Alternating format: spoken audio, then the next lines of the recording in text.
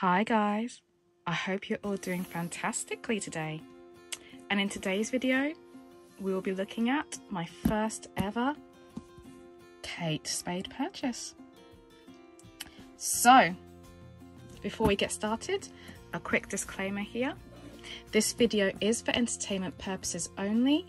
Whatever you choose to spend your hard-earned money on is completely up to you. Luxury or not? So let's get started, guys. Um, actually, one more thing. If you could please consider subscribing to this channel if you do like this content, and to all my viewers watching right now, thank you for taking the time to watch this and spending your time with me today. So, Kate Spade. This is the commuter bag, and you can probably guess why it's called that. It's for people, I guess, I'm assuming here, I don't know for sure, intended for people who are commuting, right? Going back and forth to work. Um, the reason why I chose this bag is I wanted something that holds my large laptop, its charger, and all my little bits and bobs so that if I have a day out and I'm taking my laptop with me, whether that be to work or somewhere else, that it could hold everything, that it was still sleek and stylish in design, and wasn't bulky, large, and you know, not very stylish. Um, the thing about backpacks is they're awesome. I love wearing and using them, but there are some settings where I want to be dressed smartly or I need to go from one location to another. So from, from a daytime setting to an evening setting, um, you know, such as a dinner date or what have you, out for dinner or whatever. And I need something that still looks stylish and smart. So let's have a look, shall we? So this bag does come in other colours. I believe there is a kind of burgundy colour, a kind of creamy white colour, and also I saw a colour block option too. So um, there will be videos running or images of this as you see this video right here. Um, I happened to get this one on sale during the Black Friday sales um, here in the UK. So I did get it at a discount. But uh, yeah, let's take a tour and have a look at this bag. So firstly, you can see here, it does have feet on the bottom. That does mean you tend to worry about the bag less in terms of putting it down wherever you are. Um, it is sewn here. You can see there's some sewing here to hold everything in place, which is fantastic. Turn to the side. There is this very sweet detailing here of this extra piece of leather. Um, it looks like it's sewn down here and there is and it is sewn here so it holds the knot permanently in place. And it's the same on the other side. If I just turn it here same thing. It is double zipped in the main compartment so if I just take the zipper and pull it up here for a moment let's have a look. You can see here it does have that Kate Spade detail. Ooh. there we go. Let's try it again shall we? You can see here that Kate Spade detailing on the zippers. And of course the Kate Spade logo right here on the front. Let me get it there. There you go. Okay, so the last part, the straps here, it does have carry handle straps. These are definitely top handle. This is not a, a uh, over the shoulder handle here, but if you are sharp eyed, which I'm sure all of my viewers are, um, you can see here some brackets. Uh, one here and one here on the other side. So what goes on these brackets? Of course, a crossbody strap. So let's get that strap here. This does have different settings on it. So this can go from a over the shoulder strap to a crossbody and you can see there it's not just a one pin fastening it's actually a two pin fastening right here. So you can see that there you can just push them into place.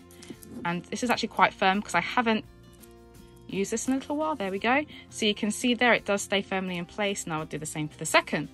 So it's not an easy to slip. And of course as you can see here this is actually sewn into place. So it can't just slide up and down on the uh, on the uh, fastening which is quite nice and this also has some Kate Spade detailing on the buckle. So let me just do that here so you can see that. It's actually upside down, sorry about that. Let's try that again so you can see that there. Okay, so I've been using this bag for a few months and what I came to find was when I had it fully loaded with everything in it, such as, you know, laptop, charger, uh, notebook, pen, phone, etc., etc., I found it actually digging into my shoulder with, using this strap because this strap although it's not the most narrow strap in the world it, it does have some it does it does have some width to it this is not as wide as I would prefer to use because I like to distribute the weight quite evenly and wear mine crossbody most of the time. So I ended up going on Amazon and actually getting a different strap. Um, let me grab that for you.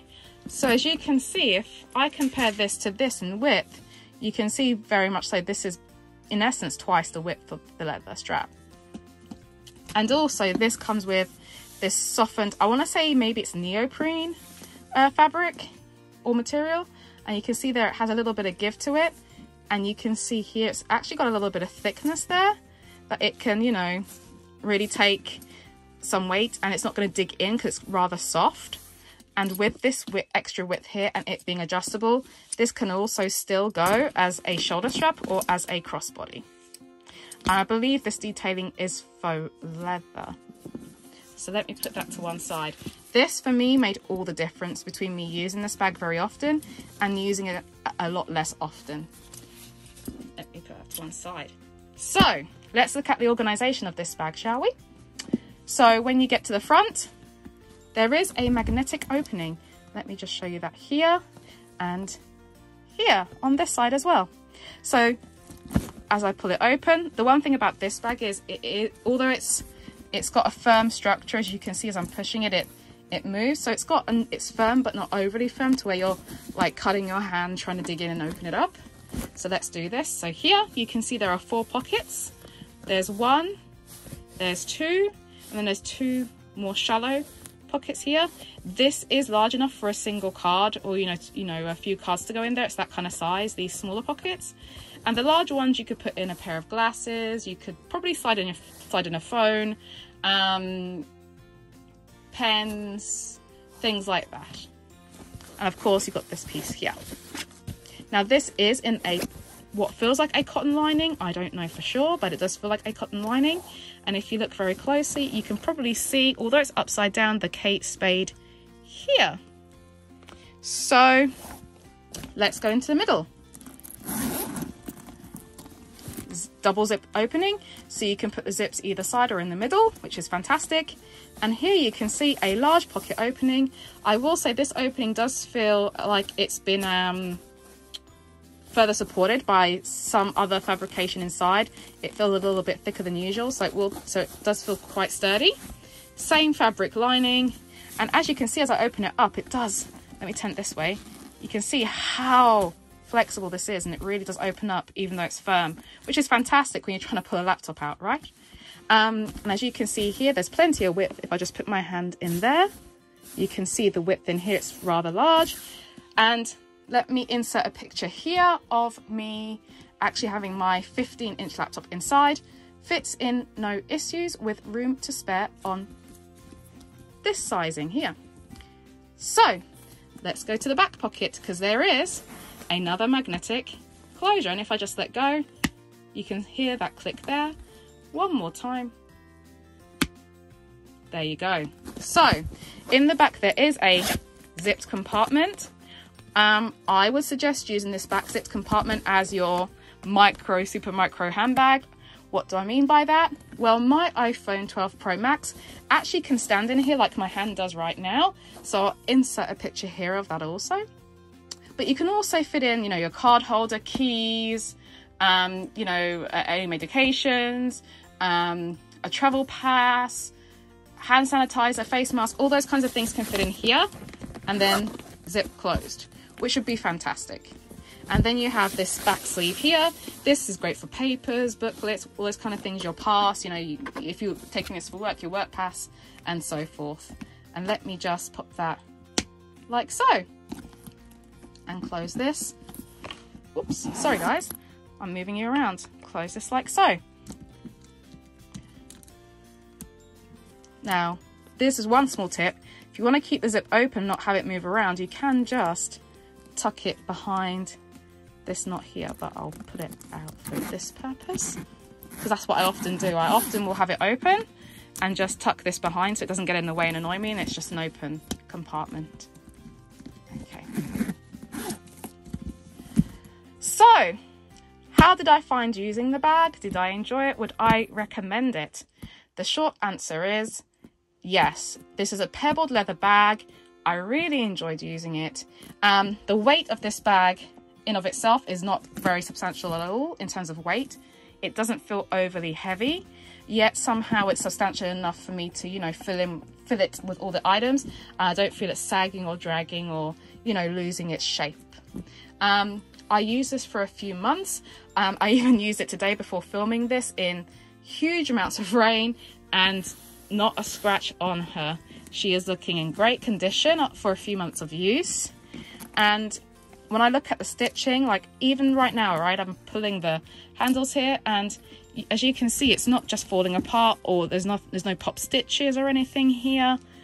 As I as you can see, there's double stitching here on the uh, on the side of the bag. When I turn to the bottom, you can see that double stitching carrying on. You can see the foot studs here.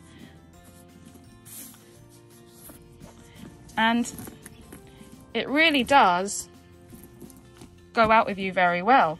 So as I come back here, you can see it just has that very sleek and smart look without me wondering, you know, is this going to do the job? Now, when I add this this uh, second strap to it that I got off Amazon, then suddenly it gives the bag a second new lease of life, which is really being a workhorse for me because the smarter strap is fantastic for a very, very sleek look.